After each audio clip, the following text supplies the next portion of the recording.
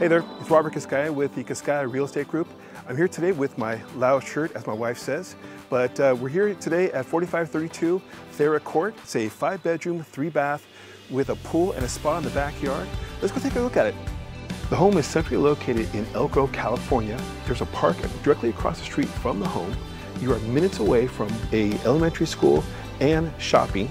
You're actually close to Highway 5, but not too close where you hear the traffic.